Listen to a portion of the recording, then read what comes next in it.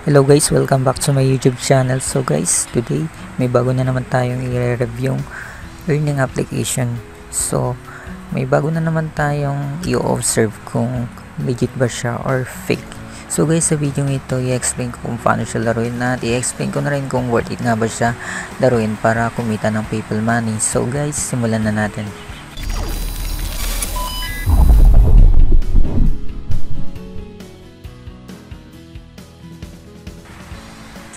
Okay guys, narito na tayo. So, pag open natin to, meron tayong meron din tayong daily task every day, login rewards.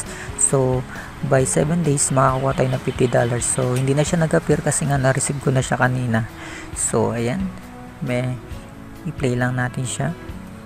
So, yes.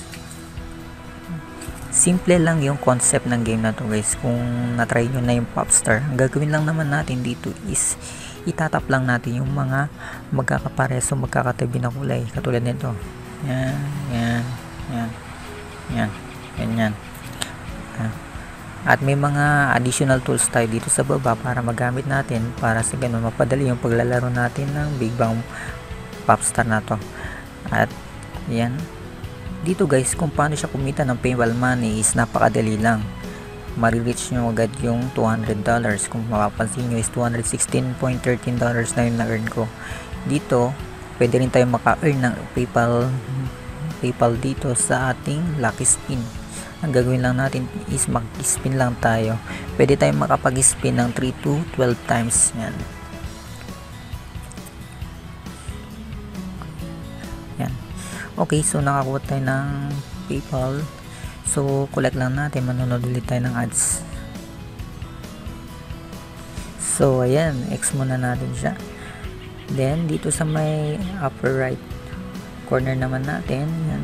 Tap lang natin itong redeem. Yan. Dito, dito natin, yan.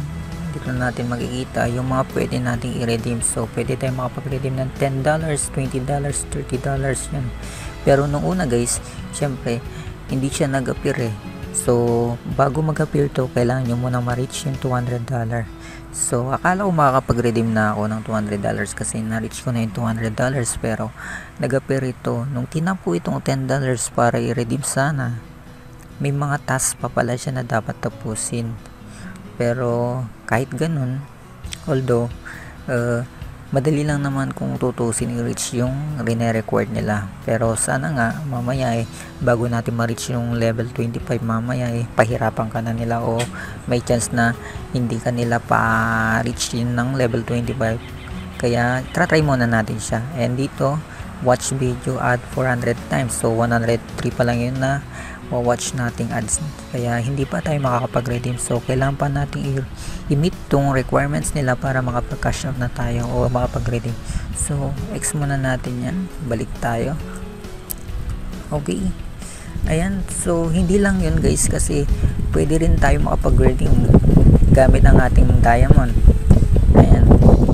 So corresponding na 295,000 halos mag 300,000 yung pwede nating ipunin na diamond para makapag-redeem tayo ng Amazon, Google Play, Steam, PlayStation, Xbox, and iTunes.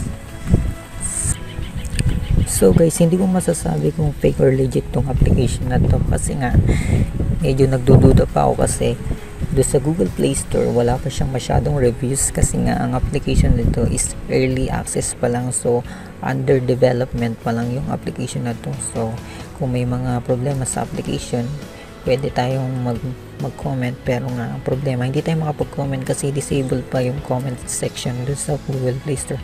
So hindi natin natin may parating sa kanila yung mga problema sa application. So ganun hindi ko lang alam kung technique lang nila yon para magamit yung application nila at para hindi may reveal yung mga kalukuhan ng developer.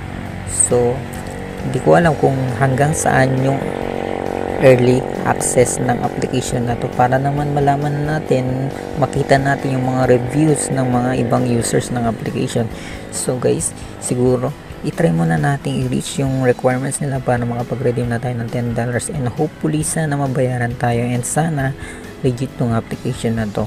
So guys, hanggang sa muli, ba kayo nang bahala kung gusto nyo i-try. O antayin nyo muna na i-review muna natin tong application na to. So hanggang sa muli, thank you.